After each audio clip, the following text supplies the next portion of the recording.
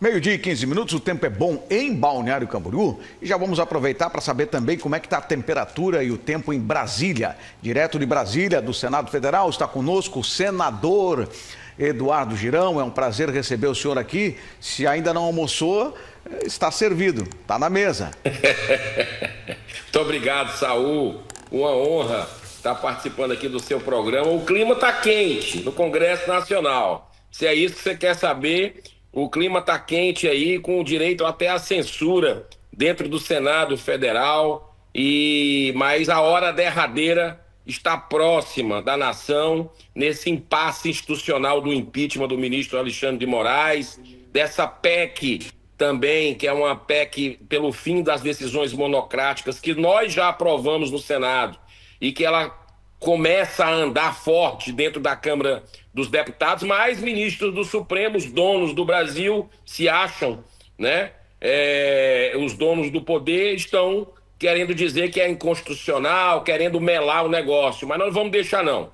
A, a hora da verdade está próxima e aí o, o Congresso vai mostrar se ele, se ele tem razão de existir ou não. Certo. Uh, senador, o senhor falou em censura. O senhor foi censurado? O que, que aconteceu? Explica para o telespectador. Rapaz, eu jamais esperava que isso pudesse acontecer dentro de uma casa revisora da República. Né? A gente já viu isso acontecer com colegas seus, jornalistas, né? que estão inclusive no exterior, é, com passaporte é, tomado, com conta bancária bloqueada, é, rede social derrubada por ordem do ministro Moraes. Mas agora foi o próprio Senado, né? Para ver como nós chegamos no fundo do poço. Eu fiz um pronunciamento na tribuna do Senado, dois dias atrás, falando sobre o conflito de interesses, pedindo esclarecimento ao presidente Rodrigo Pacheco sobre o, é, o suposto conflito de interesses do ex-advogado é, geral da casa, né? Que tem processos, segundo a matéria da revista Oeste, na, no Supremo Tribunal Federal e ele que determinou o arquivamento daquele pedido de impeachment anterior do ministro Alexandre de Moraes. E eu denunciei isso, repercuti e pedi esclarecimentos ao presidente Rodrigo Pacheco a partir da matéria da revista Oeste. E não. É, eles fizeram um, a princípio, um, a, a Agência Senado fez um título, um título que representava com, de forma fidedigna a denúncia que eu fiz, a, a provocação que eu fiz ao presidente, citando no, no título a matéria da matéria, o Pacheco e o conflito de interesse do advogado do Senado junto ao STF. E depois, acho que isso incomodou, esse título incomodou aos poderosos e mandaram retirar. Não sei quem mandou, mas mandaram retirar e foi tirado. Só que o print é eterno. E eu tenho esse print, eu tinha, eu tinha feito o print da matéria original e depois eles reformularam mudando o título da matéria. E eu achei isso um absurdo, porque depois deram um, um título é, meia boca, vamos dizer assim, dourando a pílula. E não foi esse o teor do meu, do meu discurso. Então, eu questionei, não recebi resposta e, e tô, continuo investigando para saber exatamente se nós temos agora uma imprensa dentro do Senado que também já está selecionando o que deve colocar ou não. Bom, a gente está falando agora Hoje, dia 17 de outubro de 2024, já estão falando na sucessão da presidência do Senado. Aliás, não só do Senado, das duas casas. Tal. É, é, voltou à tona o nome de Davi Alcolumbre. Queria que o senhor explicasse o que, que se comenta nos corredores do Senado com relação à sucessão, que tem sido uma pauta bastante atual, apesar de demorar um pouco para acontecer. Olha, demora nada, viu, Saul? Tá faltando poucos meses aí. Nós estamos em outubro, tem outubro, novembro, dezembro, janeiro, quatro meses. Porque no dia 1 de fevereiro será é, definido o novo presidente do Senado. E o, o Davi Alcolumbre, nada contra a pessoa dele, absolutamente, mas as suas práticas dentro da presidência do Senado. É, já tem gente dizendo, alguns senadores falando, que nós vamos sentir falta do Rodrigo Pacheco Olha só que loucura. Então, o, o, o Davi Alcolumbre já foi presidente do Senado, não demonstrou o um mínimo de sensibilidade com relação a, aos abusos do Supremo Tribunal Federal, engavetou todos os pedidos de impeachment que chegaram para ele, é, não levantou a casa como ela merece no ativismo flagrante que o Supremo, que alguns ministros do Supremo vêm fazendo é, no Congresso Nacional. Então, esse filme a gente já viu.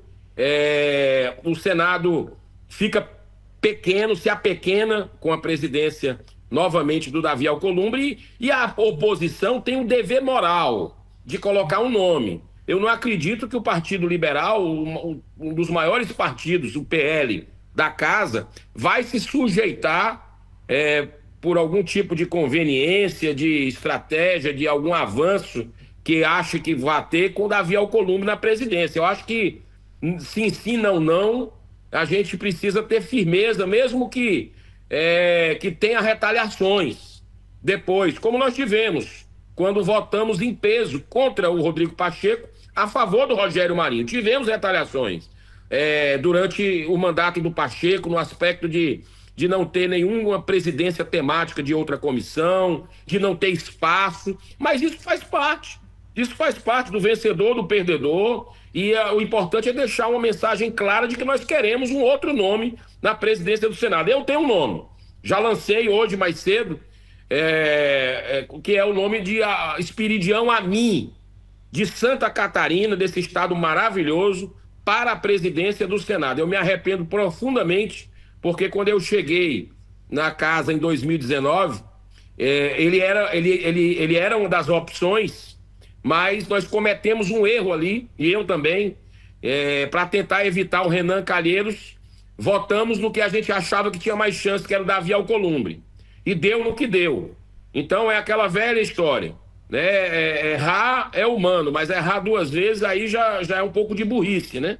Então, eu espero que a gente possa reparar esse erro e espero o povo catarinense aí dando força para o Espiridião a mim, porque ele é um nome que colocaria ordem na casa, é um decano muito experiente, muito corajoso, se posiciona de assuntos de interesse nacional, não apenas de Santa Catarina, que ele defende com todo fervor esse Estado, mas é, eu espero que ele coloque seu nome, seja ousado no bem, como sempre foi, coloque seu nome é, para que a gente possa votar e, quem sabe, até ganhar, porque ele agrega muito é, pelas, por, por ser um senador ponderado, equilibrado, um diplomata dentro da casa, ele agrega muito é, para que a gente possa ganhar essa eleição de Davi Alcolumbre, que vai fazer um trabalho ali similar ao do Pacheco, que não é um trabalho que respeita a Constituição brasileira. Bom, no caso do senador Amin aceitar a sua proposta e se tornar candidato à presidência do Senado, quantos votos seriam necessários para a eleição do Espírito Amin? Olha, a eleição é feita em dois turnos, é como uma eleição é, municipal, de governo estadual ou, ou presidência da República, é, com 41 votos, maioria simples, nós temos um presidente do Senado. Então eu acredito muito é, que o Amin, pela sua história de vida, já foi governador, é, já foi é, senador algumas vezes, parlamentar, ele possa conseguir esse número. Não é fácil, porque o sistema é bruto, mas está o Brasil todo cobrando que o Senado precisa de altivez, que o Senado precisa é, cumprir o seu dever constitucional para que haja é, uma verdadeira independência entre os poderes da República. Porque do jeito que está, Saul, eu vou falar uma coisa para você. A, a, o, o, Senado tá. O, o, Senado custa 6 bi. B de bola e de índio. 6 bilhões de reais a quem paga imposto por mês. Se você juntar isso aí, é, o salário dos senadores, assessores, as mordomias que, é, que se tem ali, é, não está justificando nada disso, absolutamente. Aliás, nada justifica mordomia e regalia. Vamos combinar. Mas salário é, e assessores, a gente não está justificando para a população brasileira tê-los, porque é, o que o Senado faz, o STF desfaz. Né? Essa é a grande realidade. Então, para que Senado? Para que ter um Congresso? A hora derradeira nós estamos chegando um impasse institucional com o impeachment do ministro Moraes, com a PEC antidrogas, que nós já votamos a favor e o Supremo está é, tá aí já começando a se movimentar para melar a nossa votação lá na Câmara, porque já foi aprovado no Senado e está na Câmara para ser aprovada. Então, é, nós precisamos de um Senado forte. E um nome para um Senado se soerguer novamente para ser respeitado, eu acredito que é do senador Espiridião Amin.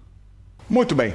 Senador Eduardo Girão, muito obrigado pela sua participação aqui no TVC News e o senhor sabe que é sempre bem-vindo aqui em Santa Catarina e aqui na TVC Panorama, que é a TV Cultura no nosso estado. Muito obrigado, uma boa tarde ao senhor aí em Brasília.